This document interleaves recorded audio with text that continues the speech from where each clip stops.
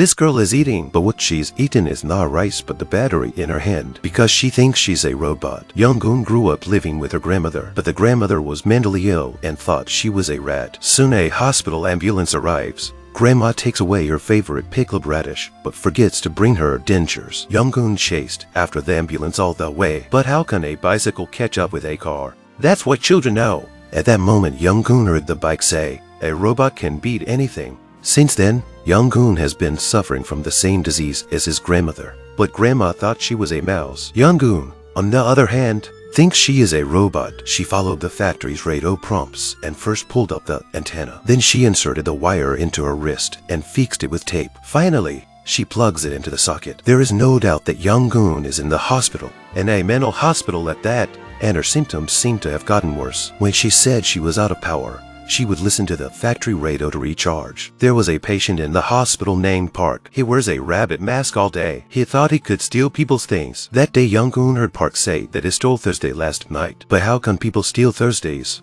Then Young-goon opened the box and found that a pair of shorts was really missing inside. It belonged to Thursday. She believes in Park's powers, so she decides to ask Park to steal her sympathy. From the day her grandmother was taken away by ambulance, Young-goon had a voice in her heart complaining about why she didn't kill the doctors in white lab coats. Young-goon thinks it's because of her compassion, but Park says that once he has the desire to steal, he has to steal what others don't agree to take. Young-goon promised to make sure she would hate him. Sure enough, her grandmother's dentures are missing.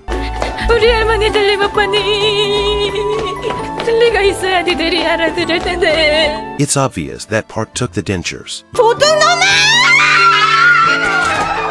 Young-goon couldn't stop crying. Park had to pretend to steal her sympathy in order to calm her down. But first he needed to.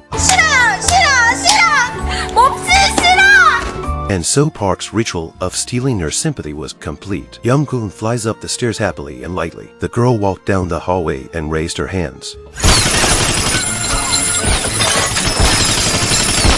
But it was all her fantasy. In reality, Young-goon passed out due to low blood sugar caused by not eating for a long time. Since Young-goon refused to accept medication, the doctors had to give her electrotherapy. They also put her in an incubator. After a short time, Young-goon felt her battery was recharged. There was nothing wrong with her physically, but her mental problems got worse.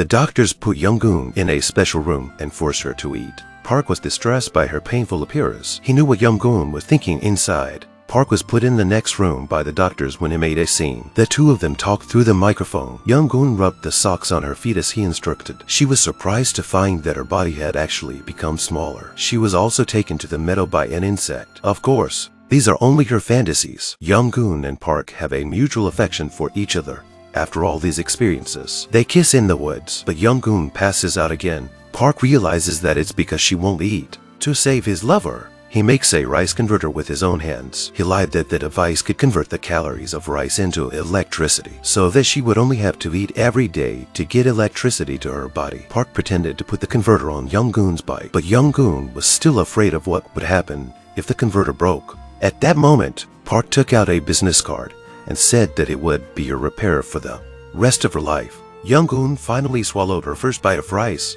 She felt her heart beating again, and the doctors and patients in the cafeteria started to cheer and jump for joy. But that story doesn't end there. Young-goon thinks she's an atomic bomb. Her purpose in existence is to end the world, but she needs a billion volts of electricity to activate her power of destruction. Park takes Young-goon out into the rainy wilderness to accomplish her goal. They raise their antennae in anticipation of lightning, but all they get is a rainbow in the morning. This is a Korean romantic comedy film released in 2006 called I'm a Cyborg But That's Okay. Young-goon and Park are both patients with diseases, but they can listen to each other and go crazy with each other. Maybe some wounds can never be healed, but what's the harm? All the suffering can't stop the world from loving each other. Well, that's it for today's story. Let's explore the wonderful movies together. See you next time.